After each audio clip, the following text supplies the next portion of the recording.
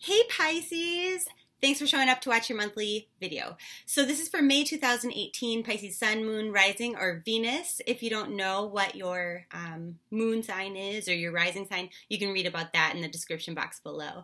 So we're going to do a general theme for the month. What's up for your money? What's up for career? How other people are going to either improve your month or try to ruin it. And then what you can do in order to have the happiest month ever. And then I'm going to give you your power crystal of the month for those of you who like to use crystals in your um, spirituality or in trying to manifest wonderful things into your life. So let's get started.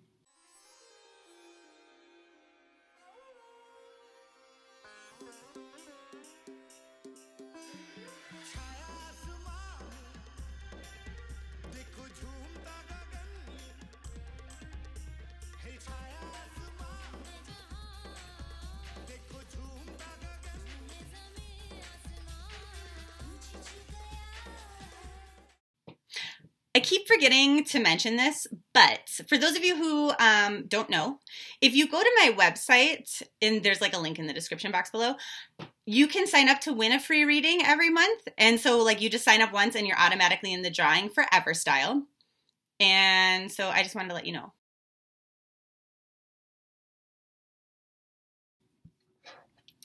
Okay, Pisces, your general theme for the month changing your reactions. Now, this is, I don't know if you can see that. Okay. So this is um, a very important card based on the colors here that are represented. This is about not only our throat chakra with the blue, but like an intuitive knowing of how our responses should be. So, you know, just because you have like a subconscious habit, like eye rolling or something like that, doesn't necessarily mean that it's the appropriate way to react, right? We might be doing these things without even noticing. And so we want to be able to check ourselves before we wreck ourselves. Um, we want to make sure that we are monitoring our reactions, whether those are through body language, the things that we say, so on and so forth, okay? Now, that's our theme for the month. Now, let's see how that correlates to our money. And they're saying, you know, this month it doesn't seem like money is really coming in in droves. Like new ideas aren't coming easily um, or maybe new campaigns that you started for your business aren't necessarily paying off right away. Your relationship to money this month is not necessarily at its peak. Now, it doesn't mean it's horrible, right? But it's just not at its peak. So, what they're saying here is um, if you're very conscious of your reaction to lack, you know, if you're very focused on what you want as opposed to what you don't want or what you're afraid of, fulfillment of wishes will come. Now, I want you to notice that that's a green colored card. So it's all about the heart chakra, feeling love, like a, a little life hack. Oh, this is so cute because I'm two minutes and 22 seconds into the video. So that's a number message from your spirit guide saying, you know, everything is harmonious and it's the way that it should be. And you'll be coming into balance in regards to your money should you put the feeling behind it. So when you're sitting here at your computer and you're like typing away, um, paying your bills, if you can express love when you're doing that, which I know it's hard, right? But if you can like, oh, there's more where that came from. I'm so happy I paid my bills. I'm in a gratitude journal that I just paid my phone bill. Hell yes. Um, the more joy that you put into the exchanging of money, the more money that you will receive sounds sounds crazy, right? But it's true. It's actually super true. Um, and so that's what they wanted to tell you about money. What else do you need to know about money in general for the month of May? And they're saying um, the thing is, is it's about tweaking this month what already exists. It's about making those things better. It's not about new money schemes. Like new ideas are not to be implemented this month. Keep doing what you're doing, just change it a little bit to make it better. Because what you have set up isn't broken. Okay. So there's that. Like, and so if you're watching this, um, ask, or like, I guess what I want to say here is go, don't go changing your whole budget, like and and redoing it. Basically, just make a few little changes here and there. Okay. Now, what I was going to say next is about career. If you're watching the money aspect and you're wondering about career, um, that's not what I was talking about. I was talking about your money in general. Now let's talk about career. Okay, so what they're saying is you might not have enough patience and you might not be planning enough in regards to your career. And part of that is just like this feeling of like uncertainty. What they're saying here is like you have a lot of fear surrounding your career just naturally in the month of May. Okay, but this is an eight number. Okay, so if you're focused on those fears, what's going to happen is you're going to build up more and more of those, and you're going to start to feel stressed, and you're going to start to feel trapped in a job that maybe you don't like or that doesn't seem like it's um, really leading to a promotion or anything like that. So ultimately, how are you going to turn this around? And they're saying, um, well, you know, you feel like maybe you have to keep your mouth shut. Like if you complain too much at work, that sort of a thing that people are going to notice and then maybe you get fired or maybe you're not up for that promotion anymore. And they're like, that's exactly right. This is why that whole concept of monitoring your behaviors or your subconscious reaction to things is so important. It'll be exceptionally important in regards to career and um, business contacts, things like that. So, what's going on with other people this month? How will they improve it for you?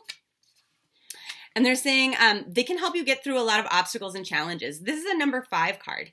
And fives are all about discord, disharmony, miscommunications, things like that. So it'll be awesome to have somebody sort of on your side to sort of coach you through the challenges that you will be facing. Um, other people might be putting challenges or obstacles in your way, but they are things that you can surpass it will be easier though if you are monitoring your reaction, as I first mentioned. Um, how are people going to ruin your month?